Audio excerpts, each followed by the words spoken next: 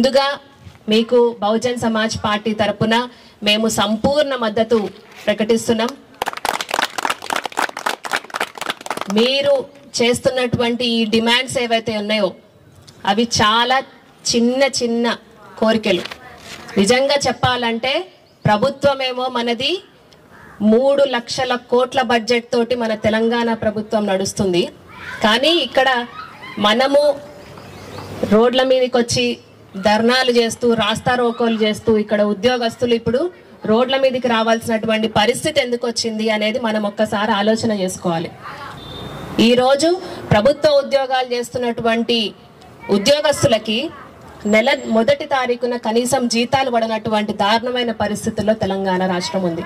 ఉద్యోగ భద్రతను కోరుకుంటున్నారో అది మనకి కనీసము కల్పించాల్సినటువంటి హక్కు. రాజ్యాంగమే మనకు ఎన్నో హక్కులను రక్షణలను కల్పించింది. దాంట్లో ఏంటంటే మినిమం వేజెస్ యాక్ట్ అంటే కనీస వేతనాల చట్టం ప్రకారం మనకి మినిమంగా ఎంత వేతనం ఇవ్వాలో అది ఇవ్వాల్సినటువంటి ఇవ్వాల్సినటువంటి బాధ్యత ప్రభుత్వానిదే.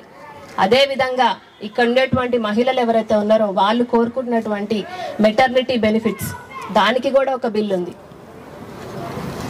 ఒక తల్లి అయిన తర్వాత నేను కూడా ఒక తల్లినే కాబట్టి ఆ బాధ ఏంటో నేను అర్థం చేసుకోగలను.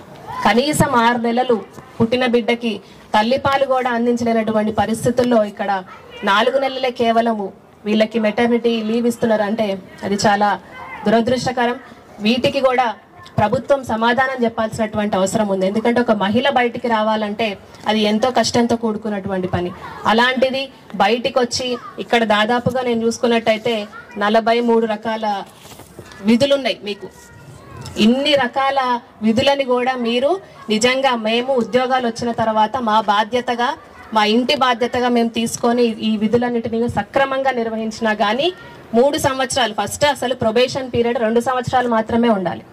అలాంటిది రెండు సంవత్సరాలది మూడు సంవత్సరాలు చేసినా కానీ అప్పుడు ఉండేటువంటి పరిస్థితుల్లో నోటిఫికేషన్లు లేక ఉద్యోగాలు కల్పించక మీరందరూ కూడా ఈ ఉద్యోగంలోకి రావడం జరిగింది. నాకు తెలిసైతే మీరు మీకు మీ క్వాలిఫికేషన్కి ఇంతకంటే గొప్ప గొప్ప ఉద్యోగాలు కూడా మీకు నిజంగా మీరు అందరూ చూస్తుంటే అందరూ చాలా చదువుకున్న విద్యావంతులు లెక్క కనిపిస్తున్నారు.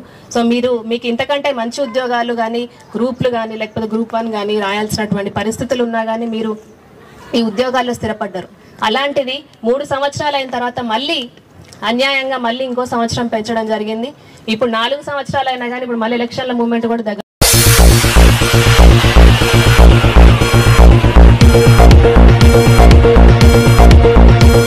ట్వంటీ ఫోర్ బై సెవెన్ చూస్తూనే ఉండండి ఎంబీకే న్యూస్. ఈ వార్తలు ఇంతటితో సమాప్తం. తిరిగి మళ్ళీ మరో న్యూస్లో కలుసుకుందాం.